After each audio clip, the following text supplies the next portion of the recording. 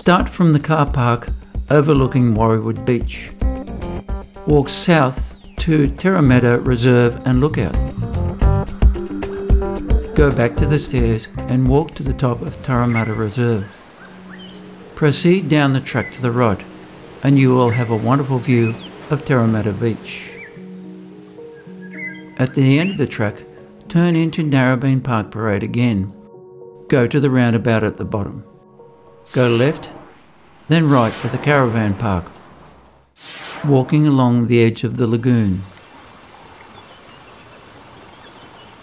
Here you will see water birds and people paddling and rowing on the water. Cross the bridge and turn left into Waterloo Street. Here are a variety of shops and cafes. Continue along Waterloo Street, crossing Lagoon and Ocean Streets until you reach the beach. It stretches from Collaroy to North Narrabeen.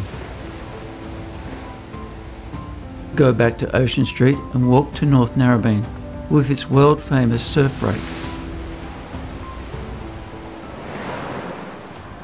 Cross Narrabeen Lagoon Bridge and go up the wooden stairs to the right. Take the track to the right and you arrive at the lookout on Narrabeen Headland. This magnificent view extends all the way to Longreef. On the way back to Warriewood, walk along the top of the cliffs above Turimetta Beach, with its many beautiful homes. This is a walk of about 8 kilometres. However, you can start or finish wherever you like.